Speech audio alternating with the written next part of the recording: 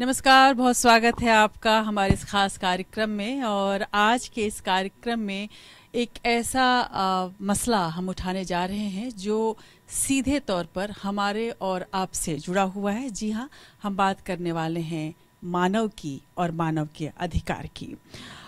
राष्ट्रीय मानवाधिकार आयोग को लगभग 30 साल हो चुके हैं और अगर शुरुआत करूँ इसके सिंबल से तो इसका सिंबल है एक सूरज जिसकी रोशनी चारों तरफ़ बिखेर, बिखर रही है। जैसे सूरज की रोशनी किसी के लिए भी भेदभाव नहीं करती और समान रूप से सबको मिलती है। राष्ट्रीय मानवाधिकार आयोग की कोशिश भी कुछ ऐसी ही है और इसीलिए शायद ये सिंबल चुना गया। और ख़ासकर आजकल ढाई, लगभग ढाई साल से जिन्होंने इसका भार संभाल रखा है, जस्टिस अरुण कुमार मिश्रा जो कि चेयरपर्सन है मानवाधिकार आयोग के उनकी पूरी कोशिश कुछ ऐसी ही रहती है कि समान रूप से सबके अधिकारों के, खासकर मानव अधिकारों को संरक्षित और सुरक्षित किया जाए। तो हमारे साथ आज राष्ट्रीय मानवाधिकार आयोग के चेयरपर्सन जस्टिस अरुण कुमार मिश्रा जी मौजूद हैं। बहुत बहुत शुक्रिया, सर, हमारे इस कार्यक्रम में हिस्सा लेने के लिए।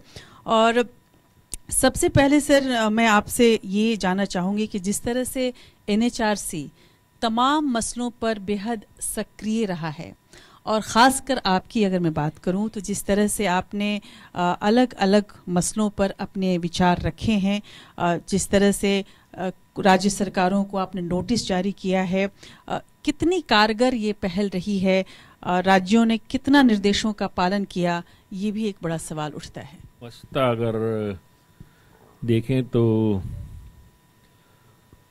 मैं सिर्फ़ ढाई साल की बात नहीं करना चाहता, मैं देखता हूँ कि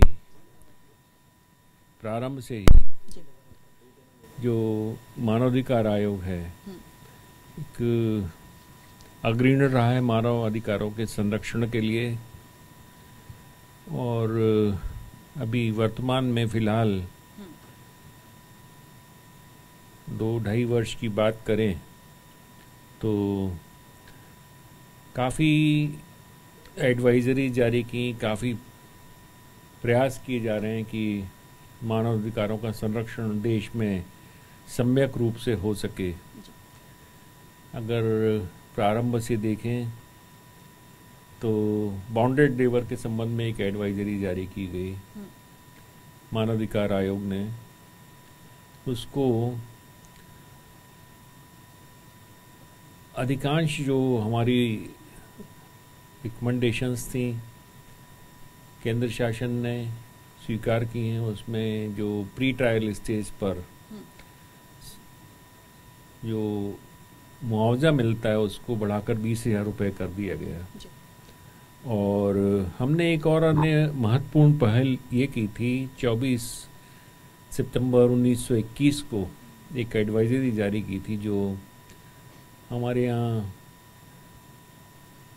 सफ़ाई कर्मचारियों की मृत्यु सेप्टिक टैंक सीवर लाइंस इत्यादि में सफ़ाई करने के दौरान हो जाती है जी। हमारे यहाँ के जो प्रस्तुत डेटा हैं उसके अनुसार 600-700 व्यक्ति पर वर्ष प्रति वर्ष हम्म। मरते हैं और इससे लगभग संख्या कम ज़्यादा होती रहती है तो हमने उसके विषय में एक पहल की थी कि इनको सीवर्स को सेप्टिक टैंक्स की सफ़ाई मैकेनिकल यांत्रिक तौर से की जानी चाहिए, ना कि मानव के द्वारा की जानी चाहिए। और जब तक ये संभव नहीं होता यांत्रिक तरीके से इनकी सफ़ाई करने के लिए, उस समय तक इनको उचित रूप से उसमें उनको इक्विपमेंट्स दिए जाएँ सिर्फ़ हेलमेट्स दिए जाएँ ऑक्सीजन प्रदान की जाए टॉर्च इत्यादि दी जाएँ और गैसियस, गैस, जहरीली गैसें वहाँ उपस, उपलब्ध हैं तो उसके संबंध में पहले से जानकारी ली जानी चाहिए, जिससे कि वो प्रवेश ना करें ऐसी स्थान पर। खुशी की बात यह है कि एक इसके संबंध में जो केंद्र शासन ने एक योजना बनाई है, नमस्ते स्कीम, उसमें उन्होंने इसकी यांत्रिक सफ़ाई के लिए राज्य शासन को और निकायों को धन देना प्रारंभ किया है, परंतु इसका उपयोग अभी ज़्यादातर निकाय नहीं कर रहे हैं। और यांत्रिक तौर से सफ़ाई की उन्होंने व्यवस्था नहीं कर रहे हैं। तो हमने सारे राज्यों को नोटिस जारी किया हुआ है। तो उसमें हम ये कोशिश कर रहे हैं कि इसी प्रकार से हमने मानसिक चिकित्सालयों के संबंध में, पूरे देश में एक एडवाइजरी जारी की इसीलिए कोशिश के संबंध में जारी की है। जेल में जो सुसाइड्स हो रहे हैं, अधिकांश जो जेल में मृत्यु होती है, अस्सी प्रतिशत वो सुसाइड से होती हैं। तो लोगों की वहाँ मानसिक तौर से मानसिक जाँच की जानी चाहिए और उनको ऐसा वातावरण प्रदान किया जाना चाहिए और उनको फांसी पर लटकने के लिए कोई ऑब्जेक्ट बाथरूम से इत्यादि में नहीं मिलना चाहिए और उनका किस प्रकार से देखभाल होना चाहिए, उनको नेक्स्ट बडी जो एक हमारे यहाँ प्रावधान है जेलों में वो होना चाहिए जो पहचान सकें कि ये मानसिक तौर से डिस्टर्ब है, इस समय उसको परिवार की सहायता मिलनी चाहिए, उनसे बातचीत करने का उसको अवसर प्राप्त होना चाहिए। इसके संबंध में एडवाइजरी जारी की है, पर्यावरण के संबंध में भी हमने उसमें ले रखा है, अपने कंस्ट्रेशन में तथा जो डिजिटल डिवाइड है, इसके संबंध में भी हमने आदेश जारी किए जब आप ये सब बता रहे थे एक और सवाल मेरे दिमाग में आ रहा था कि जिस तरह से बच्चों की सुरक्षा के लिए, खासकर पॉक्सो एक्ट में बदलाव की सिफारिश आपने की और बाल यौन शोषण सामग्री जिसको हम लोग कहते हैं सी एस ए एम उस पर भी एक एडवाइजरी जारी की गई है।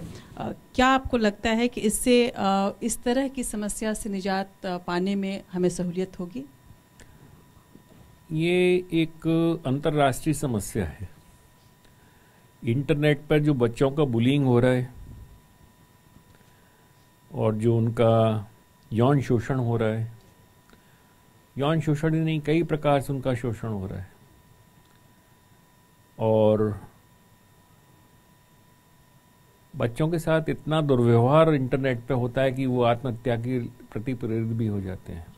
तो इसके संबंध में पूरे देश की एक अंतर्राष्ट्रीय स्तर पर हमने एक आयोजन किया हम्म। एक उसमें विचार विमर्श किया उसके पश्चात हमने 27 अक्टूबर 2023 को एडवाइजरी जारी की है हम्म।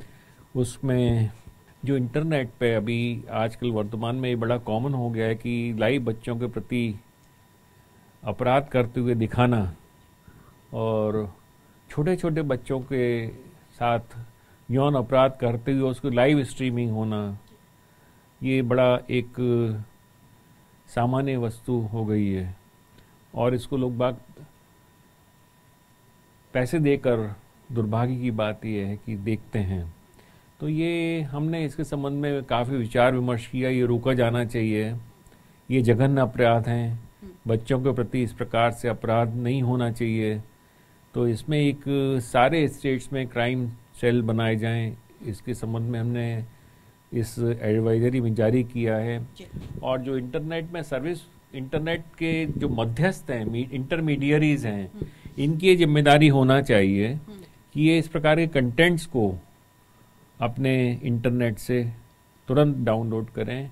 अभी तक प्रावधान ये था अभी जो अपने यहाँ प्रावधान वर्तमान में किया गया कि 36 घंटे में नोटिस के प्राप्ति के पश्चात ये उनको कार्रवाई करने का समय था। हमने कहा नहीं छः घंटे के भीतर इस प्रकार से कार्रवाई अगर कोई नोटिस में आता है कि बच्चों का शोषण हो रहा है, इस प्रकार का कंटेंट है तो उसको उसी समय रोका जाना चाहिए। छः घंटे के भीतर इनको रोकना चाहिए इस प्रकार के शोषण की। और बच्चों का किसी प्रकार से शोषण ना हो और इसके संबंध में प्रशिक्षण दिया जाए, प्रचार प्रसार किया जाए। पॉस्को एक्ट में संशोधन कर कर जो बच्चों के यौन शोषण के संबंध में जो पोर्नोग्राफी शब्द यूज़ किया गया, ये हटाना चाहिए क्योंकि बच्चों की पोर्नोग्राफिक नहीं है ये। यौन शोषण है, ये अपराध है, और जो इसमें जो अपराध की सजा है, अभी सात वर्ष तक की, या उससे कम की सजा दी जा सकती है। हम, हमने अपनी एडवाइजरी में कहा है कि इस सजा को बढ़ाना चाहिए।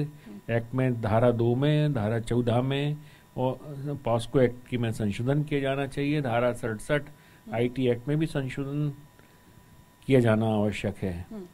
तो इस प्रकार से एक इंटरनेट के इंटरमीडिएटरीज की ज़िम्मेदारी होनी चाहिए कि बच्चों का यौन शोषण ना हो और वे इस प्रकार से रेवेन्यू इस इन कार्यों के लिए अर्न नहीं करें। बिल्कुल। और साथ में आपने सर जो ये किया है कि राज्यों और केंद्र शासित प्रदेशों को दो महीने के भीतर कार्रवाई करके रिपोर्ट सौंपने की बात कही गई है। कितना प्रैक्टिकल है? क्या आपको लगता हम, है कि हम निश्चित तौर से मानते हैं इसके प्रति सभी लोग जागृत हैं। हम्म। सब लोगों को ये प्रयास है कि इसको रोकें हम्म। केंद्र शासन ने भी इसके संबंध में अभी वर्तमान में नियम बनाए हैं उनको भी उनको लागू किया जाना चाहिए हमें इसका ये जो ऐसी एडवाइजरी है जिसका कहीं कोई विरोध का प्रश्न नहीं उत्पन्न होता हम सब लोग जागृत हैं हम्म। एक अच्छा देश है हमारे यहाँ और मैं समझता हूँ कि निश्चित तौर से हम सफल होंगे हम्म। और दो महीने के भीतर इसको रोकने में काफ़ी हम अग्रणी भी हो जाएँगे। जी। जब इंटरनेट की बात होती है सर तो वो इंटरनेट बुलिंग एक बहुत बड़ी समस्या बनती जा रही है। खासकर बच्चे इसका बहुत शिकार हुए हैं। अभी एक उदाहरण मैं आपको दूँ तो उज्जैन में एक बच्चा जो एल क्यू से था उसने एक पोस्ट डाली और उसके बाद दिवाली के दिन और उसके बाद ऑनलाइन बुलिंग उस पर इतनी ज़्यादा हुई कि कहा जा रहा है कि उसकी वजह से उसने आत्महत्या कर लिया। आ, क्या आप इस तरह के मसलों को उठाएँगे और इस पर कुछ और कार्रवाई करने की कोशिश करेंगे। हम इस प्रकार की बुलिंग को बिल्कुल स्वीकार नहीं करते हैं और इसके संबंध में हमने काफ़ी प्रकरण हमारे यहाँ चल भी रहे हैं। इसके अतिरिक्त जो इस प्रकार के गेम्स भी हैं हम्म।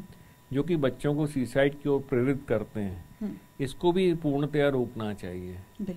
इस प्रकार हमारा प्रयास ये है कि बच्चों को इस प्रकार के ना तो गेम्स परमिटेड होना चाहिए इसके संबंध में केंद्र शासन को अग्रणी होकर कार्रवाई करनी चाहिए, राज्य शासनों को कार्रवाई करनी चाहिए इंटरनेट कंटेंट के संबंध साइबर क्राइम सेल और हमें फॉरेंसिक्स डिजिटल्स को ज़्यादा डेवलप करना पड़ेगा लेबोरेटरी को डेवलप करना पड़ेगा डिजिटल फॉरेंसिक्स को और इसके संबंध में जो लोगों को हमें अवेयरनेस लानी होगी, पुलिस को इसको प्रति जागृति पैदा करनी होगी, उनको ट्रेनिंग उचित देनी आवश्यक है। जिससे कि इस प्रकार के साइबर क्राइम्स को हम रोक सकें। हम्म। ये घटित ही नहीं होना चाहिए वस्तुतः। हम्म। सर जब आपने बात की सेप्टिक टैंक के मजदूरों की और सफ़ाई कर्मचारियों की आपने एक सितंबर में जब आयोग ने राज्य सरकारों को खतरनाक सेप्टिक टैंकों की सफ़ाई और सीवेज सफ़ाई में मानव हस्तक्षेप खत्म करने की बात कही थी और पंद्रह दिनों के अंदर रिपोर्ट देने की बात कही थी इसमें कहा गया था कि मशीनों का यूज़ किया जाए जैसा कि आपने अभी बताया ही। मैं एक और जानना चाहती हूँ कि एनएचआरसी ऐसे लोग जो ऐसा नहीं कर रहे हैं, ऐसे में जो दोषी हैं, उनके खिलाफ किस तरह की कार्रवाई करेगी?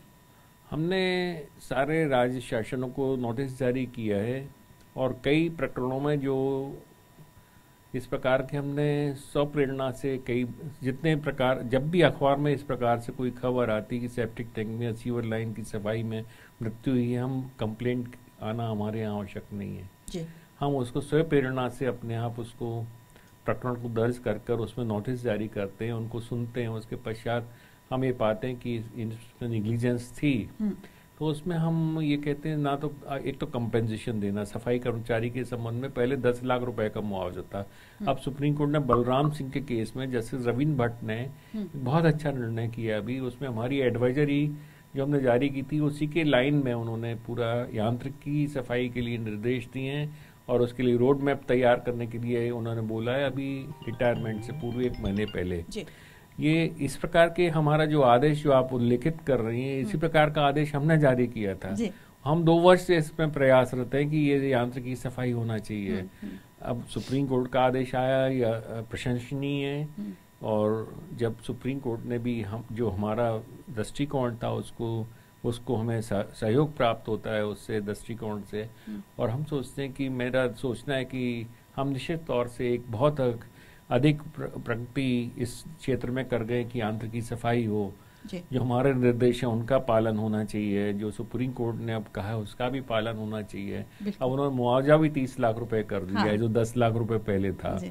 क्योंकि उसकी कीमत जो दस लाख रुपए जिस समय निर्धारित की गई थी उसकी वस्तुता कीमत मल्टीप्लाई करने के पश्चात हम्म। तीस लाख हो जाती है। तो तीस लाख रुपए प्राप्त होना चाहिए इसके साथ में हमारी एडवाइजरी में ये भी की जो मृत्यु के पश्चात उनको कंपेंशन अपॉइंटमेंट उनके बच्चों को अनुकंपा नियुक्ति इत्यादि देना चाहिए उनको तो जमीनी हकीकत है सर ऐसा हो पा रहा है? क्यों नहीं हो रहा? अभी दस लाख रुपए मिलते थे अब तीस लाख रुपए मिलेंगे नहीं मिलेंगे तो अधिकारियों ये सुप्रीम कोर्ट का निर्णय है एडवाइजरी मानव अधिकार आयोग की इसका पालना पालन आवश्यक है नहीं तो अधिकारियों के विरुद्ध कार्रवाई हम करते हैं सुनिश्चित करते हैं विभागीय कार्रवाई हो। बिल्कुल। सर जब बा, बात होती है मजदूरों की तो अभी हाल फ़िलहाल पूरे देश की नज़र सर आ, उन मजदूरों पे अटकी हुई थी सत्रह दिनों तक जो कि सुरंग में फंस गए थे।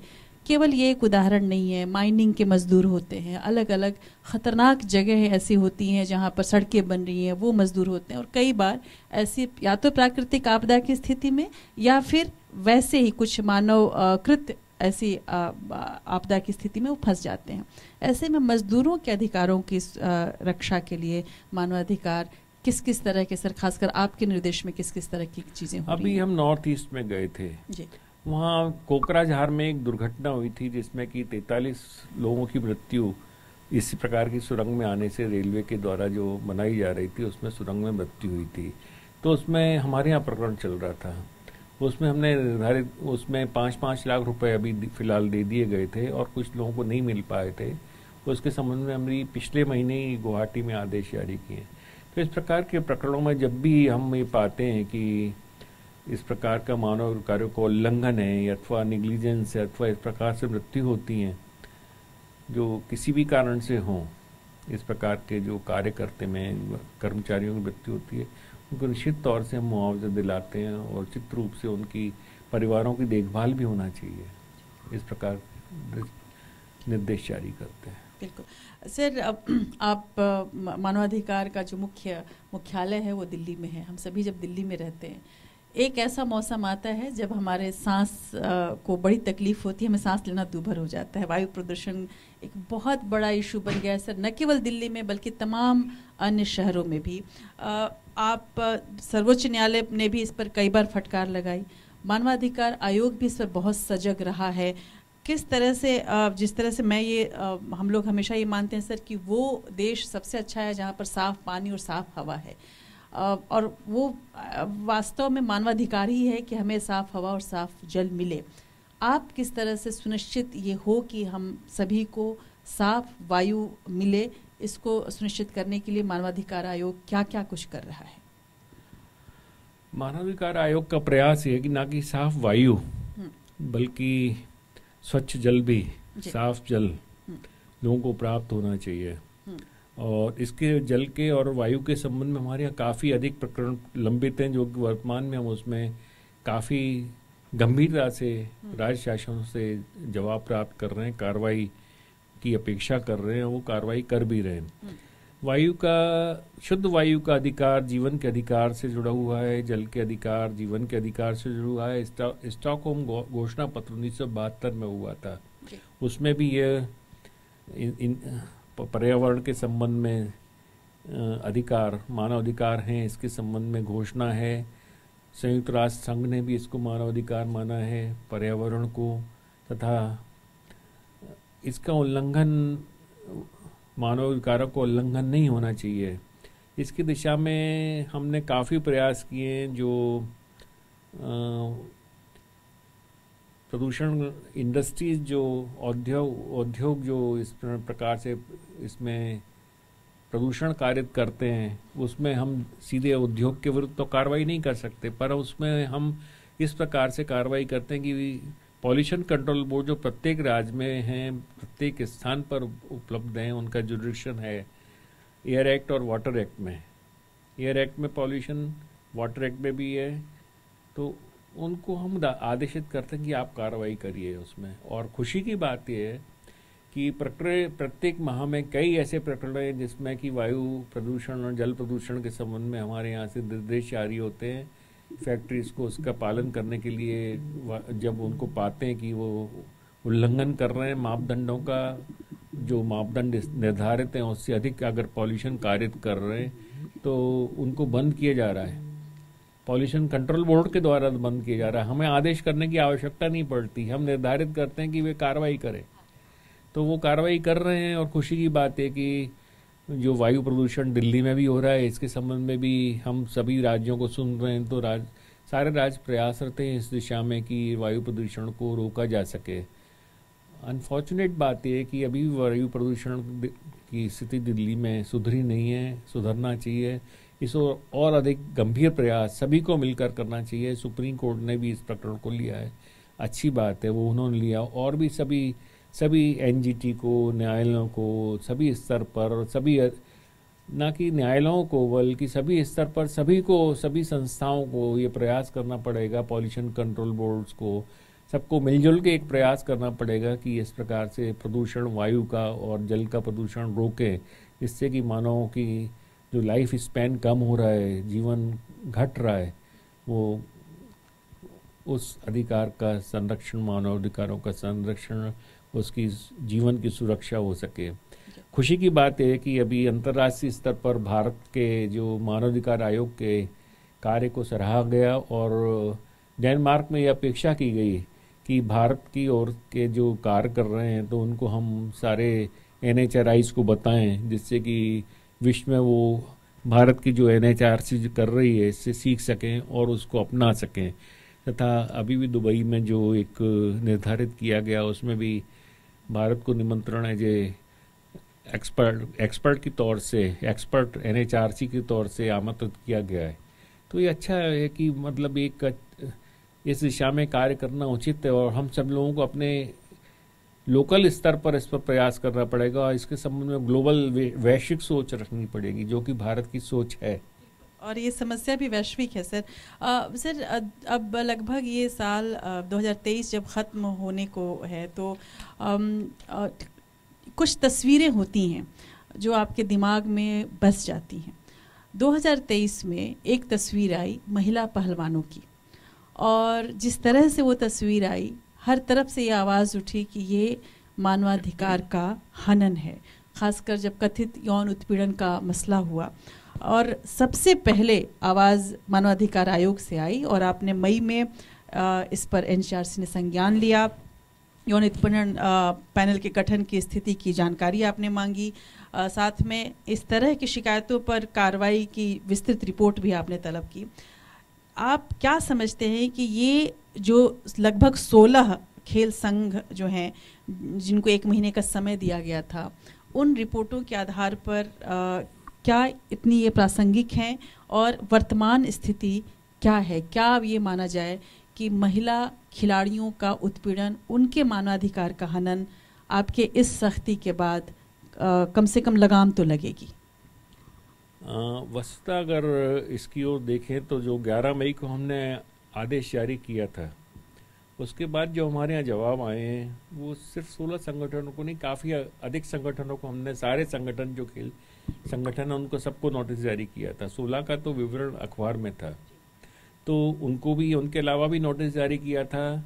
तो अधिकांश जगह से जो हमारे यहाँ रिपोर्ट्स आई हैं बावन जो फेडरेशन हैं उनमें इनका निर्माण कर लिया गया है अथवा किया जा रहा है।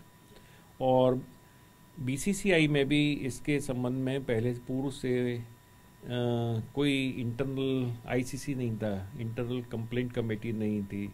तो उन्होंने हमें आश्वस्त किया मई में कि हम इसके संबंध में अपने सामान्य सभा में विचार करके एक कमेटी बनाएँगे। और खुशी की बात है बीसीसीआई ने भी सितंबर में एक कमेटी बना ली है इस प्रकार से सभी लोग इस आदेश का पालन कर रहे हैं और बावन जगह से हमें पालन की रिपोर्ट्स प्राप्त हुई हैं, परंतु उसमें कहीं कहीं अभी कुछ कमियाँ हैं, उनको हम देखकर पूरा करने का प्रयास कर रहे हैं। तो अगले महीने ये प्रकरण हम पुनः सुनेंगे। तब उसके संबंध में फर्दर आदेश जारी करेंगे। आईसीसी होने भर से महिलाओं के प्रति उत्पीड़न समाप्त नहीं हो सकता। इसके प्रति हमारे समाज में जागृति आनी पड़ेगी। हम उचित रूप से उनको ऐसे दोषी व्यक्ति हैं जो कि महिलाओं को एक उत्पीड़न करते हैं यौन का अगर कोई उनको अपराध या उनके साथ दुर्व्यवहार करते किसी प्रकार का, जो कि एक्ट में प्रतिबंधित है 2013 में, इसके संबंध में एक्ट बनाया गया, विशाखा गाइडलाइंस के पश्चात तो उसका अगर उल्लंघन होता है तो उसको निश्चित तौर से इसको सजा ऐसे व्यक्ति को दी जाना चाहिए। सर दुर्व्यवहार की जब बात आती है तो मानवाधिकार आयोग के अब तक की जो एक ट्रैक रिकॉर्ड रहा है, वो हर एक वर्ग को उसका अधिकार मिले, इसका रहा है। लेकिन एल जो कम्युनिटी है, आज भी हर तरीके के शोषण का, दुर्व्यवहार का शिकार होती रही है और उनके अधिकारों की सुरक्षा कैसे हो इसके लिए मैंने अक्सर देखा है कि कई अलग अलग मौक़ों पर आपने बात किया है, उसके लिए चिंता भी ज़ाहिर की है। लेकिन आखिर उनके अधिकारों का खाका किस तरह से आप बना रहे हैं और किस तरह से उनके अधिकारों के संरक्षण और सुरक्षा की बात हो रही है? प्रथम तो हमारे यहाँ एक L G B T Q I के संबंध में कोर ग्रुप भी है। इसके संबंध में विचार करते हैं। महिलाओं के संबंध में कोर ग्रुप है, उनके संबंध में विचार करते हैं। सुप्रीम कोर्ट ने धारा 377 को समाप्त कर दिया है। ये हमारे यहाँ अच्छी चीज़ हुई है। तथा ट्रांसजेंडर्स के संबंध में अभी हमने एक परामर्शी एडवाइजरी जारी की है। तो उसमें उनके साथ जो भेदभाव था। उसको दूर करने के लिए काफ़ी सिफारिशें की गई हैं। यौन परिवर्तन सर्जरी जो वो करते हैं, होती हैं, उनके संबंध में दिशा निर्देश दिए हैं। तथा ये भी कहा गया है कि जो इस प्रकार के ट्रांसजेंडर बच्चे हैं, उनको एक पुत्री के समान ट्रीट करके उनको पेंशन का अधिकार प्राप्त होना चाहिए, उनको ग्रेचुटी प्राप्त होनी चाहिए। इस प्रकार से हमने उसमें अनुशंसा की है तथा उनको कई कई राज्यों में जब जो कृषि कानून है, उसमें उनको उत्तराधिकार से वंचित किया जाता है, ट्रांसजेंडर बच्चे को। उनको उत्तराधिकार नहीं प्राप्त होता। उनको उत्तराधिकार प्राप्त होना चाहिए। इसके संबंध में हमने जारी किए लोन प्राप्त होना चाहिए, जिसमें राज्य संवेंशन करें अपनी ओर से। उसमें रेट ऑफ़ इंटरेस्ट उनके लिए कम कर कर अपनी ओर से उसमें सहयोग प्रदान करें। उनका स्किल डेवलपमेंट के संबंध में उनके गरिमा ग्रह जो बने हैं उसमें एक शिकायतें आई थी कि उनको समय अनुसार पैसा नहीं मिल रहा। तो उनको समय के अनुसार पैसा जारी करें, इसके संबंध में दिशा निर्देश दिया है। ओल्ड एज होम उनके लिए अलग से बने, तथा उनके लिए शिकायत प्रकोष्ठ बने, अलग पृथक शौचालय होना चाहिए, बाथरूम उनके लिए और प्रमाण पत्र और स्वास्थ्य सुविधाएँ में उनको प्रमाण पत्र जारी करने में काफ़ी विलम्ब होता है। तो उनके डॉक्यूमेंट्स वेरीफाई जो यौन सर्जरी के परिवर्तन के पश्चात उनके जो नाम भी बदल जाते हैं, उसके संबंध में विलम्ब नहीं होना चाहिए। वो एक सर्जरी उसने कराई है, इसके सर्टिफिकेट के आधार पर उनका वेरिफिकेशन शीघ्र किए जाना चाहिए। इस प्रकार से हमने काफ़ी उनके सहयोग के लिए दिशा निर्देश जारी किए। सर जब बात होती है अधिकारों की तो महिला का अधिकार हमेशा से एक सवाल के घेरे में रहता है। तमाम तरह की कोशिशें हुई, लेकिन अभी भी अक्सर ये खबरें आती हैं अलग अलग राज्यों में, जहाँ पर महिला के, महिलाओं का शोषण होता है। सबसे बुरी खबर जो रही है हाल फ़िलहाल में, सबसे भयावह तस्वीर जो हमारे सामने आई है, जो हमें मानव होने पर शर्मिंदा करता है, और वो है मणिपुर की। मणिपुर के मामलों मामले में जिस तरह से हस्तक्षेप आपने किया एनएचआरसी का हस्तक्षेप रहा कितना प्रभावी रहा? आपको इससे क्या हम लोग इशारे लें कि आने वाले समय में इस तरह की चीज़ों पर कम से कम इतने जागरूक रहेंगे कि इस तरह की घटना शायद हो ही नहीं। मणिपुर के संबंध में हमने अभी गुवाहाटी में पिछले माह मणिपुर के प्रकरण लिए, मणिपुर से लोगों को सुना, वहाँ के अधिकारीगण को सुना गुवाहाटी में। तो उसमें एक चीज़ सामने आई कि वर्तमान में भी अभी स्थिति सामान्य नहीं हुई है। यह स्थिति उचित नहीं है। इसकी स्थिति सामान्य होनी चाहिए। ये भी उसमें सामने आया कि वहाँ पर आ, अभी सड़कें पे कभी कहीं कहीं कहीं रोक है। सड़क पे आवागमन नहीं हो पा रहा है। इसके संबंध में हमने राज्य शासन से कहा है कि आप इसको खोलने का प्रयास करिए। और शीघ्र से शीघ्र खोलिए और सामान्य स्थिति लाने का प्रयास करें। और हमें ये बताया गया, हमारे निर्देश, हमने निर्देश दिए थे कि कंपेंसेशन तुरंत उसमें बांटा जाए, जिन जिन लोगों की मृत्यु हुई है उसमें। तो 180 लोगों की मृत्यु होना उन्होंने बताया था।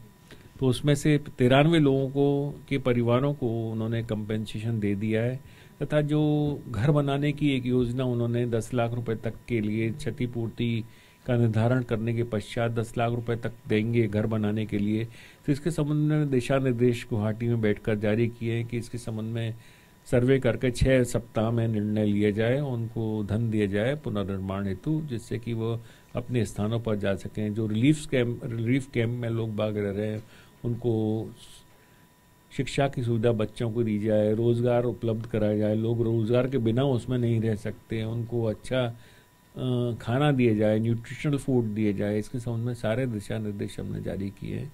और हम सुनिश्चित कर रहे हैं कि शीघ्र तो शीघ्र इस प्रकार से लोगों को अगर वापस घर प्राप्त हो सकेंगे नॉर स्थिति नॉर्मल होगी सड़कें खुलें आवागमन चालू हो स्थिति शीघ्र शांति की ओर बढ़े। आ, सर जब से आपने कमान संभाली है उत्तर पूर्व पर खासकर आपका विशेष ध्यान रहा है किस तरह की ज़्यादा समस्याएँ आपने वहाँ देखी हैं जिसको आप समझते हैं कि मानवाधिकार आयोग को उन समस्याओं को एड्रेस करने की ज़रूरत है? हालाँकि मैं अपनी तरफ़ से अगर बताऊँ तो शायद आ, उत्तर पूर्व का जितना अनुभव हम लोगों को है चाहे स्वास्थ्य का मसला हो या सामाजिक समता की बात हो हर जगह उत्तर पूर्व के लोगों को नॉर्थ ईस्ट के लोगों को एक तरह से पीछे रखा जाता है। क्या उनकी समस्याओं को आप ध्यान में रखते हुए कुछ अलग से पहल करने की कोशिश करने। पहली बात तो ये, अगर उत्तर पूर्व की बात करें तो वो अशक्त लोग नहीं है। उनकी सोसाइटी बहुत सशक्त है। वो डेवलप्ड सोसाइटी है। दे आर बहुत, अगर उनको, अगर गंभीरता से उनकी अगर अध्ययन किया जाए तो एक ऐसी सोसाइटी है जो कि जागृत सोसाइटी है। अपने हक को जानती है, अपने हकों के लिए लड़ती है। उनका ये उनके यहाँ स्थिति अपने यहाँ से पंचायत लेवल पर भी अच्छी है। जो इधर लोग पंचायत लेवल पर इतने जागृत नहीं है वहाँ पर जागृति है। लोग अपने अधिकारों के प्रति जागृत है अधिकार मांगते हैं। और वो अच्छा एक सोसाइटी है अच्छी सोसाइटी है मैं इसको परंतु वहाँ अपराध की अगर बात करें तो अभी चाक पाँच के संबंध में हमने दिशा निर्देश जारी किए पिछ, पिछले माह। उनके घरों के संबंध में, उनके एरिया को कॉर्डन करने के संबंध में प्रकरण सुने, उन पर निर्णय करने वाले हैं। अभी हम और भी कई प्रकार के, इस प्रकार के प्रकरण हैं, जहाँ की पुलिस जातियों की खबर सभी राज्यों से आती है, वहाँ से भी आती है पुलिस जातियों के संबंध में तो उसकी हम जाँच कर रहे हैं और एनकाउंटर्स की भी शिकायतें कई राज्यों से आती हैं तो वहाँ से भी कुछ शिकायतें थी उनके संबंध में गंभीरता से प्रत्येक प्रकरण में जाँच कर कर और हम ये पाते हैं अगर पुलिस ने जाति की है तो दोषी है पुलिस उसमें तो उसमें मुआवजे का निर्धारण करके प्रदान करने की कोशिश करते हैं। और वहाँ कुछ प्रकरण ऐसे भी आते हैं कि बौद्ध विलेज था एक उसकी सांस्कृतिक रक्षा के लिए उन्होंने एक याचिका लगाई हुई है। तो उसके संबंध में भी हमने राज्य शासन से अपेक्षा की कि उनकी सांस्कृतिक धरोहरों की वहाँ और रक्षा की जाए और किस प्रकार से सुरक्षित रखा जाए। तो इसके इस प्रकार के प्रकरण हैं वहाँ। परंतु अच्छी बात यह है कि एथनिक वायलेंस मणिपुर को अगर छोड़ दें हम्म। तो बाय एंड वहाँ स्थिति ज़्यादा खराब नहीं है अच्छी स्थिति है स्वास्थ्य सर एक ऐसा मसला है जैसे हमने अभी बात की वायु की जल की हम्म। स्वास्थ्य की सुविधा पूरे भारत में हर एक किसी को मिलनी चाहिए लेकिन दुर्भाग्यवश अभी तक तमाम ऐसे राज्य ऐसे गाँव हैं जहाँ स्वास्थ्य की सुविधाएँ नहीं है अभी तक वहाँ पर क्वैक्स हैं जो कि इलाज कर रहे हैं जबकि एक मानवाधिकार के तौर पर इसे देखा जाना चाहिए और देखा जाता है कम से कम विकसित देशों में। उसको सुरक्षित करने के लिए पूरे भारत में किस तरह की कोशिश मानवाधिकार आयोग की रहेगी? हमारे यहाँ कई प्रकरण इसके संबंध में चल रहे हैं। हम्म। हमने उसमें कई प्रकरणों में तो स्वप्रेरणा से लिया है कुछ शिकायतों के आधार पर लिया है। इस प्रकार की शिकायतें हमें मुख्यतया उड़ीसा से बिहार से और कुछ अन्य प्रदेशों से भी कुछ प्राप्त हुई तो उसके संबंध में स्वप्रेरणा से अथवा शिकायत के आधार पर हमने कार्रवाई कर रहे हैं। तो हम सुनिश्चित करते हैं कि उस व्यक्ति के खिलाफ कार्रवाई हो। परंतु साथ ही साथ हमारा भी ये ज़िम्मेदारी है राज्य शासनों की ज़िम्मेदारी है कि इस चिकित्सा सुविधाओं को गाँव में और अधिक अच्छा बनाया जाए। क्वालिटी ट्रीटमेंट गाँव में उपलब्ध हो सके राज्य शासनों को ये प्रयास करना चाहिए। एक अधिकार है कि प्रत्येक गरीब का भी अधिकार है कि उसको क्वालिटी ट्रीटमेंट शीघ्र से शीघ्र, अच्छे से अच्छा ट्रीटमेंट प्राप्त हो, वो जिसको अफोर्ड कर सकता है, जो उसकी पहुँच से बाहर नहीं हो। तो उसके लिए हमारे यहाँ प्रयास किया जा रहा है, दवाइयों को सस्ता किया गया है। कैंसर की दवाइयाँ सस्ते रेट पर उपलब्ध हुई हैं, जो कि दवाएँ लाखों रुपए पे, दस दस लाख रुपए की दवाई एक अमेरिका में उपलब्ध होती है, हमारे यहाँ बीस पच्चीस हज़ार में उपलब्ध होती है। तो इस दिशा में अच्छा प्रयास चल रहा है एक गरीब को इलाज का अधिकार प्राप्त होना चाहिए और हमने इस समय में दिशा निर्देश भी जारी किए हैं कि कई जो मानसिक चिकित्सा इत्यादि है इनके संबंध में आयुष्मान भारत की जो एक योजना चल रही गरीबों के लिए काफ़ी सहयोगप्रद है हम्म। तो इस स्कीम का लाभ अधिक से अधिक लोग उठा सकें हम्म। ऐसा हमारा भी प्रयास है कि हम दिशा जी। हाँ। मानसिक स्वास्थ्य वालों पर ज़रूर बात करना चाहूँगी हाँ। सर। उसके लिए ख़ास कर आपने काम किया है और एक बहुत बड़ी चिंता का विषय ये बनता जा रहा है। और अब जब एनएचआरसी ने जो पाया था जिसमें आप मैं अगर उसी चीज़ को कोट करना चाहूँ तो आपने देखा था कि ज़्यादातर मानसिक स्वास्थ्य प्रतिष्ठानों को आज की आवश्यकताओं के अनुसार पुनर्गठित करने की ज़रूरत है। और एक आमूल चूल परिवर्तन बदलाव की ज़रूरत आपने पाई थी। किस तरह की अपेक्षा आप रखते हैं कि किस तरह का परिवर्तन हो और उसको सुनिश्चित करने के लिए एनएचआरसी क्या करेगा? हमारे यहाँ परिवर्तन तो वस्तुता हम सोचें तो अगर जो होना चाहिए वो अपेक्षित है 2017 के हम्म। मानसिक जो स्वास्थ्य अधिनियम है उसके अनुसार मेंटल हेल्थ एक्ट बना हुआ है हम्म। इतने अच्छे प्रावधान उसमें किए गए हैं कि हम्म। उससे अधिक अच्छा अधिनियम हो नहीं सकता अगर मानसिक चिकित्सा के क्षेत्र में सम, समझे तो परंतु हमारे यहाँ ये देखा गया कि अभी भी राज्य सरकारों ने उसका जो उन पर अपेक्षित था उस कानून के अंतर्गत कई जगह बोर्ड्स की स्थापना नहीं की गई है हम्म। कई जगह मेंटल हेल्थ अथॉरिटीज़ की निर्माण नहीं किया गया, धारा पैंसठ, छियासठ में और जो हाफ़ वे होम्स बनना चाहिए एक्चुअली जो मानसिक चिकित्सालय में जो ऐसे पेशेंट्स हैं जो कि ठीक हो गए हैं, उनको परिवार वाले वापस नहीं ले रहे हैं। तो देखा ही जा रहा है कि वो मानसिक चिकित्सालय में ही अन्य जो रोगी हैं, उनके साथ रह रहे हैं, वर्षों से रह रहे हैं, ये अच्छी स्थिति नहीं है। तो इसके संबंध में हमने दिशा निर्देश जारी किए हैं, डायरेक्टर जनरल पुलिस को ठाणे के अस्पताल के संबंध में और सभी राज्यों के सैंतालीस अस्पतालों को हमने जितने चिकित्सालय मानसिक चिकित्सालय देश में है सैंतालीस शासकीय उन सबका एक हमने निरीक्षण कराया। तीन जगह चार तीन चार चार अस्पताल खुद हमने देखे जाकर पूरे कमीशन ने रा, रांची में दो देखे आगरा में देखा ग्वालियर में देखा। तो स्थिति अभी ज़्यादा अच्छी नहीं है इन चिकित्सालयों की। काफ़ी देखभाल की ज़रूरत है हमें इस ओर कि उसका इंफ्रास्ट्रक्चर काफ़ी पुराना हो गया, अधिकांश अस्पतालों का, उनको रीस्ट्रक्चर किया जाए रीमॉडल किया जाए, सुविधाजनक बनाया जाए और के ये मानसिक रोगियों को जो सुविधाएँ प्राप्त होनी चाहिए, वो भी वहाँ बेसिक सुविधाएँ प्राप्त नहीं हो रही हैं। तो इनकी और राज्य शासन को ध्यान देना पड़ेगा। इनकी और राज्य शासन को ध्यान देना चाहिए ये हमारा प्रयास है और इसके संबंध में हम प्रकरण में भी निर्देश जारी कर रहे हैं, जो कि लगातार चल रहा है। पिछले माह भी हमने प्रेस के सामने प्रकरण सुना है उसमें आदेश पारित करने जा रहे हैं। जी और शायद इसी इतने आप सक्रिय रहते हैं इसीलिए सर सितंबर में जब एशिया प्रशांत के राष्ट्रीय मानवाधिकार आयोग ने मानवाधिकारों पर दिल्ली घोषणा को अपनाया था भारत के लिए अगर हम बात करें तो मानवाधिकार सुधार की दिशा में जो वैश्विक जो प्रयास प्रयासों के लिए घोषणा कितनी प्रासंगिक आप समझते हैं? एक्चुअली जो दिल्ली की घोषणा है ये पूरे विश्व से संबंधित है। हम्म। एशिया पैसिफिक रीजन से संबंधित है पूरे विश्व के मानवता से संबंधित है। आज हमारे यहाँ जो पर्यावरण का विषय है पूरे वैश्विक विषय है।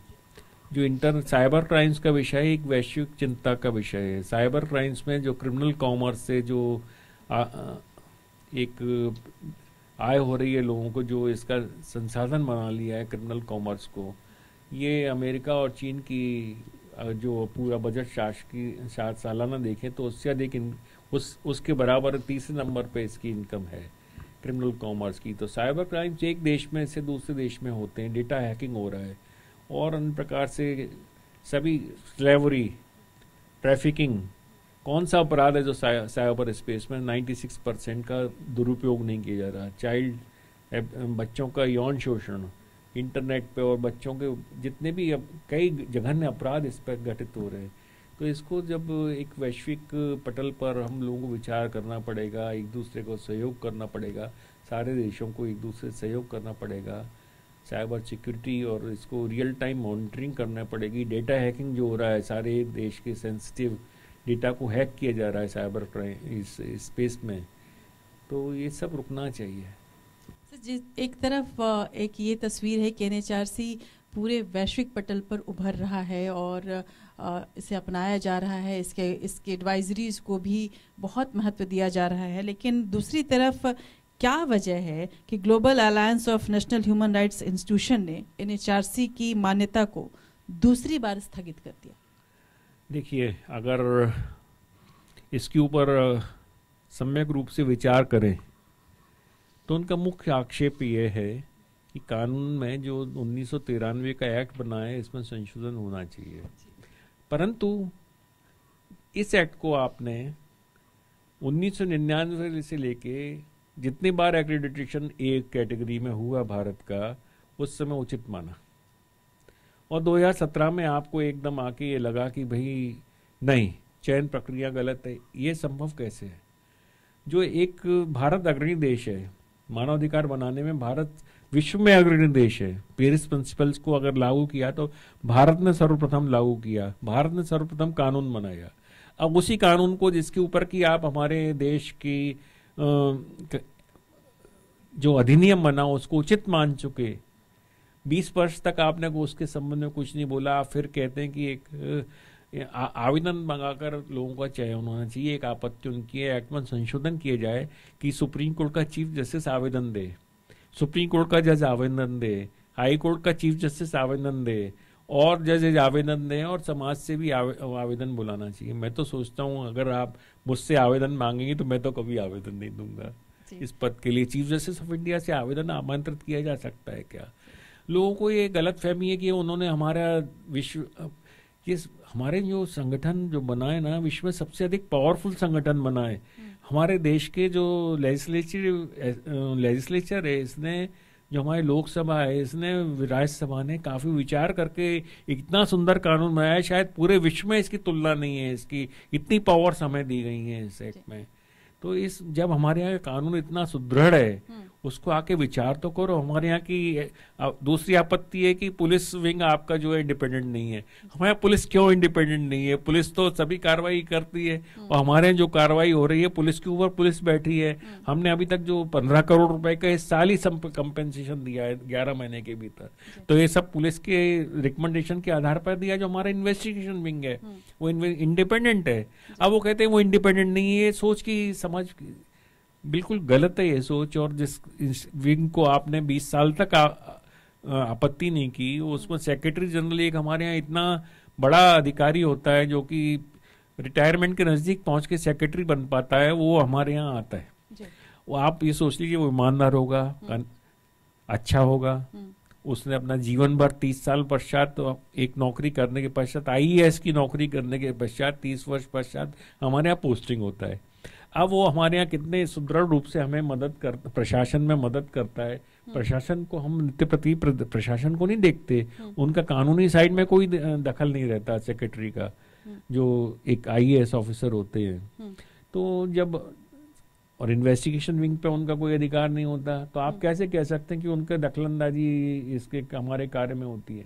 ये बिल्कुल सोच गलत है। इसको हमारे हमारे देश के संरचना को हमारे देश के जो कानून में जो हमारे मानवाधिकार आयोग की संरचना है इसको संबंध में त्रुटि और इसके संबंध में हमने आक्षेप उठाए हुए हैं। अभी अंतिम निर्णय उन्होंने नहीं किया है। हम्म। तो हमें ये उम्मीद है कि वो हमारे देश में आएँगे हमारे देश को समझेंगे। हम्म। हमारे वहाँ से कंप्लेंट मैनेजमेंट समझने के लिए तो वो लोग भेजते हैं। अपने यहाँ से गैनरी से भी जेनेवा से लोग बाग आए हमारे यहाँ देखने की हम कैसे इस प्रकार से कंप्लेंट जो एक लाख आती कैसे मैनेज करते हैं। हमारे यहाँ से लोग बाग सीख रहे हैं। हम्म। उसी देश की अगर संरचना को आप गलत कहते हैं तो इसमें थोड़ा सा हो सकता है समझने में त्रुटि हुई है उनको। जो। कानून एक 20 से 25 साल तक कोई अभी तक एक अच्छे तौर से कार्य कर रहा है और उसमें सशक्त तौर से कोई आयोग कार्य कर रहा है तो वो देखना पड़ेगा उनको। जी। बिल्कुल और अन्य देशों की अगर तुलना करूँ तो मैं आपको हाँ। बताऊँ कि अन्य देशों में तो ये संरचना है ही नहीं है हाँ। कई देशों में तो ऐसा है कि मैं तुलना नहीं कर रहा मैं नहीं बोल रहा उनके आयोग अच्छे नहीं है सशक्त नहीं है हम्म। परंतु उनको नियुक्त मंत्रियों को नियुक्त कर दिया जाता है कई देशों में उनको ए, एक क्लास का एक्रेडिटेशन दिया हुआ है हम्म। आप हमारे यहाँ बात करते हैं उस संरचना की जिसमें कि सुप्रीम कोर्ट के जजेस और हाई कोर्ट के जजेस बैठे हुए हैं जीवन अपना पूरा समर्पित कर दिया देश के लिए जी, बिल्कुल। सर, तीस साल पूरे हो गए अक्टूबर 2023 में मानवाधिकार आयोग को भारत में। एक सर, जो आलोचक है एन के, वो हमेशा इस बात का आरोप लगाते हैं कि ये एक दंतहीन संगठन है। या फिर अगर जैसे मुख्य केंद्र जो है वो काम कर भी रहा है तो कई राज्यों में जो मानवाधिकार आयोग हैं, इनके जो अंग हैं, वो कई ऐसे राज्य हैं जहाँ पे वो डिफंक्ड सिचुएशन में हैं। क्या आपको लगता है कि अब जब तीस साल पूरे हो रहे हैं तो इसको एक ओवरऑल इसको देखकर और इसको पूरी तरह से संरचनात्मक परिवर्तन इसको करने की ज़रूरत है कहीं या फिर इसको वाकई ज़्यादा अधिकार देकर इसे ऐसा बनाना है कि ज़्यादा सशक्त रहे मानवाधिकार आए? कि हमारे को और अधिक दंत की ज़रूरत आवश्यकता नहीं है। We don't want any other further teeth जो हमारी एक गरिमा है हम्म। जो गरिमा के आधार पर राज्य हमारे और अधिकारी हमारे आदेशों का पालन करते हैं। हम्म। हमारा नोटिस ही पर्याप्त होता है मानव अधिकारों को उल्लंघन रोकने के लिए आगे उल्लंघन नहीं हो इसके लिए। हम्म। इसके पश्चात जो हम एक सम, रिकमेंडेशन करते हैं तो इसके संबंध में विचार न्यायालयों में चल रहा है कि रिकमेंडेशन बाइंडिंग है अथवा नहीं बाइंडिंग है। कुछ हाई कोर्ट के निर्णय की बाइंडिंग है। जी। कुछ हाई कोर्ट ने एक हाथ हाई कोर्ट ने निर्णय किया है कि ये बाइंडिंग नहीं है रिकमेंडेशन है चूँकि हम्म। परंतु हम ये मानते हैं हमारी रिकमेंडेशन को अधिकारी लोग एक इस प्रकार से लोग बंधनकारी तौर पर लेते हैं हम्म। और हमारे अगर मैं आपको बताऊँ तो लगभग नब्बे प्रतिशत प्रकरणों में हमारे जो हम रिकमेंडेशन करते हैं अनुशंसा करते हैं उसका पालन हो जाता है तो ये तो हम ये सोचते हैं कि कोर्ट की जो डिग्री होती है हम्म। डिग्री होती है उसका डिग्रियों का पालन इस प्रकार से नहीं हो पाता हम्म। बीस बीस पच्चीस पच्चीस वर्ष तक। पर हमारे यहाँ से जो अनुशंसा है हम्म। उसका पालन तो अधिक हो रहा है अब स्वतः पालन हो रहा है। तो हमें इससे और अधिक शक्ति की आवश्यकता नहीं है। और दूसरा आपने कहा कि निष्क्रिय हैं। जो राज्य में मानव राज्यों में। तो मैं अभी हमने देश की नेशनल मीट बुलाई थी। सारे एच एस आर सी को हम वर्ष में दो बार मिल के मीट करते हैं हम्म। तो अभी मीटिंग बुलाई थी तो हमें ये सब का फीडबैक मिला सब लोगों को हमने हमने ये विचार विमर्श किया था पिछले महीने में ही हम्म। कि क्या क्या हम और मिलजुल के कार्रवाई करना चाहिए किस किस क्षेत्र में कार्य तो सब जगह कार्य चल कर रहा है कहीं कहीं कुछ स्टाफ की कमी है ये बात सही है कि कहीं कहीं राज्य शासन ने पूर्ण स्टाफ नहीं दिया अथवा कुछ कमियाँ इंफ्रास्ट्रक्चर की हैं तो पर अधिकांश जगह पे नाइन्टी परसेंट जगह पे कमियाँ नहीं है अच्छे तौर से काम कर रहे हैं हम्म। और काफ़ी मतलब प्रकरण को निराकरण कर रहे हैं हम्म। और स्पॉट इन्वेस्टिगेशन भी करा रहे हैं जैसे हम लोग कराते हैं अपने इन्वेस्टिगेशन से वो लोग भी करा रहे हैं हम्म। और सुधार का प्रयास कर रहे हैं पर जहाँ जहाँ थोड़ा इंफ्रास्ट्रक्चर की कमी है हम लोग विचार करके उसमें पूरा करने की कोशिश परिवर्तन करेंगे। सर जब मतभेद की बात चलती है तो बहुत कम ऐसा वक्त होता है जब सुप्रीम कोर्ट और मानवाधिकार आयोग के बीच कोई मतभेद की बात आए। लेकिन आ, आ, बंगाल चुनाव के दौरान जो चुनावी हिंसा की जाँच के लिए पर्यवेक्षकों की नियुक्ति के लिए आयोग ने स्वतः संज्ञान वाली कार्रवाई की उस पर अदालत ने अपनी नाराज़गी ज़ाहिर की। आयोग का जो रुख क्या है इस पर? ज़रूर हम आपके हम सुप्रीम कोर्ट के आदेश का स्वागत करते हैं। जी। क्योंकि सुप्रीम कोर्ट ने जो हम चाहते थे वही कहा है। हम्म। सुप्रीम कोर्ट ने अपने निर्णय में अंतिम दो तीन पैरा में ये कहा है कि मानवाधिकार आयोग को पूर्णतया सक्षम है पोल वायलेंस में जो वायलेंस होता है उसकी शिकायतों को देखे निराकरण करे इस संबंध में। अब इस संबंध में अगर आप ये कहें कि जो हमारा एक आदेश को कुछ सीमा तक उन्होंने निरस्त किया, वो आदेश हाई कोर्ट के आदेश और हाई कोर्ट में जो प्रकरण दर्ज हुआ था, इसके संबंध में उससे दो दिन पूर्व पारित किया गया था। उसमें एक अपेक्षा की गई थी, इलेक्शन कमीशन राज्य का ये प्रयास करे, एनएचआरसी के साथ मिलकर कि राज्य में वायलेंस नहीं हो। वेस्ट बंगाल में पोल वायलेंस सामान्य बात हो गई है। ये हम सब लोग जानते हैं पचास पचास लोगों की मृत्यु होना पुल वायलेंस में, पिछले चुनाव में, आम चुनाव में और अभी इस प्रकार अभी पंचायत चुनाव में जो मृत्यु सैंतालीस लोगों की हुई, कई लोग बेघर बार हो जाते हैं। पोल वायलेंस वहाँ होता है। इसके संबंध में हमने संज्ञान लिया। तो हमने ये कहा कि इलेक्शन कमीशन हमारे साथ मिलकर काम करे और ऑब्जर्वर्स नियुक्त किए जाएँ। तो ऑब्जर्वर्स के संबंध में सुप्रीम कोर्ट ने ये कहा है कि इलेक्शन कमीशन को पात्रता है। हम स्वयं स्वीकार करते हैं इलेक्शन कमीशन को ऑब्जर्वर नियुक्त करने की पात्रता है। पर हमारा प्रयास सिर्फ़ उस सीमा तक था जिस समय आदेश उच्च न्यायालय ने जारी नहीं किया था डिवीज़न बेंच ने, और न उच्च न्यायालय को हमारा आदेश बताया गया। हमारे आदेश की वस्तुता आवश्यकता नहीं रह गई थी, ये भी सुप्रीम कोर्ट ने अपने निर्णय में कहा है। तो हम तो इस निर्णय से बिल्कुल दुखित नहीं है। वस्तुतः हमारे जो एक स्टैंड है कि पोल में वायलेंस नहीं होना चाहिए और एक स्वच्छ चुनाव एक मानव अधिकार में शामिल है। हम्म। ये मानव अधिकार है कि हमारे यहाँ जो चुनाव होते हैं डेमोक्रेटिक प्रोसेस से हों और इसमें वायलेंस नहीं हो। हम्म। और वोट देना भी एक मानव अधिकार में शामिल है। मानव अधिकारों के अगर विस्तार में देखें जो तो उसके संबंध में एक डिक्लेरेशन है जिसमें ये उल्लिखित है। बिल्कुल। लेकिन सर वोट की जब बात चल रही है तो ज़ाहिर सी बात है कि वोट देना तो मानव अधिकार है। लेकिन किसी भी तरीके से वोट लेना कहीं ना कहीं एक अपराध ही माना जाएगा। फ्री बीज की मैं बात करना चाहूँगी। चुनावों का मौसम आ गया है। हर एक दल आगे बढ़ बढ़ कर फ्री बीज बांट रहा है। कोई किसी तरह के वायदे करता है, कोई उससे भी आगे वायदे करता है। क्या आपको लगता है कि हालाँकि सुप्रीम कोर्ट इसने काफ़ी गंभीर टिप्पणी की थी इस पर और काफ़ी सख्ती दिखाई थी, लेकिन आप इस पूरे मामले को कैसे देखते हैं?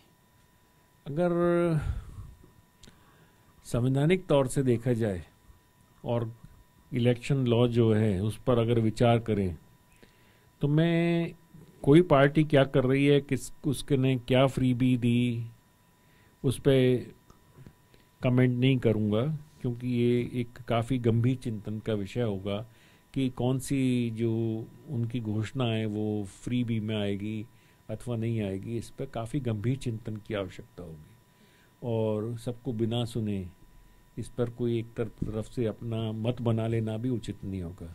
पर जहाँ तक संविधान की बात करें तो संविधान के पार्ट फोर में जो directive principle of state policy हैं जो शासन का को दिशा निर्देश दिए गए संवैधानिक तौर से, जो एक गरीब क्लास है, उसको ऊपर बढ़ाने के लिए, उसकी मदद के लिए एक डिस्ट्रीब्यूटिव जस्टिस का कंसेप्ट है, जो कि जिन लोगों को आवश्यकता, उनको ऊपर उठाने के लिए मार्जिनाइज क्लास को, जो एक गरीब वर्ग है, जो पिछड़ा वर्ग है, जिनको सदियों से उनके अधिकार प्राप्त नहीं हो सके, उनको उन लोगों के बराबर लाने के लिए जो कि ऊपर आ चुके हैं, अथवा समाज के संभ्रांत वर्ग में, जो उच्च वर्ग है मध्यम वर्ग है उसकी समानता वो लोग नहीं कर सकते मार्जिनलाइज क्लास जो आज गरीब वर्ग जो है ट्राइबल्स हैं और लोग हैं इस प्रकार से जो गरीब वर्ग है उनको समानता अधिकार अधिकार लाने के लिए राज्य शासन का नैतिक दायित्व की उनको मदद करे। उसके संबंध में अगर कोई घोषणा की जाती है तो उचित है।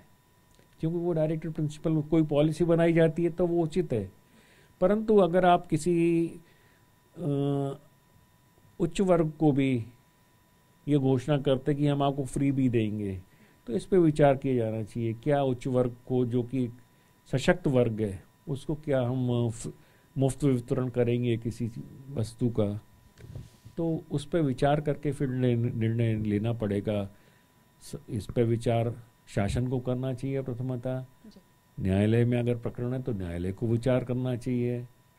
इस पर विचार अवश्य होना चाहिए कि मतलब क्या फ्रीबी में जो इलेक्शन लॉ में प्रोहिबिटेड है और क्या एक दिशा निर्देश जो director principle of state policy में हमारे संविधान में निर्धारित की उसमें आता है।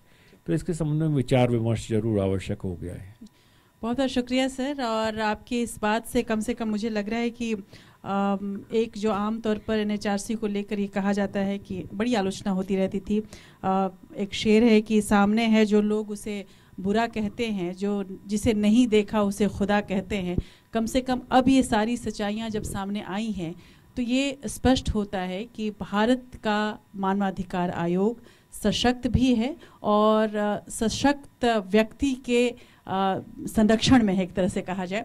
और शायद इस वजह से उम्मीदें बन रही हैं। तीस साल जब अब पूरे हुए हैं, हम एक नई राह पर, नई चुनौतियों के साथ आगे बढ़ेंगे और आने वाले दिनों में भारत जहाँ पर मानवाधिकार को लेकर तरह तरह की बातें होती रही हैं, लेकिन उसके बाद भी अंतर धारा ये रही है कि भारत हमेशा मानवाधिकार का हितैषी रहा है। हम उम्मीद करेंगे कि आने वाले दिनों में हमें कम से कम शिकायतें देखने को मिलेंगी मानवाधिकार आयोग के पास, जो पत्र जाते हैं शिकायतों के, उनका अभी तक जो पुलिंदा बनता जाता है वो कम से कम और एक वक्त ऐसा आएगा कि ख़त्म हो जाएगा और शायद वो आदर्श स्थिति होगी। इसी आदर्श स्थिति की कल्पना में आज बस इतना ही। नमस्कार।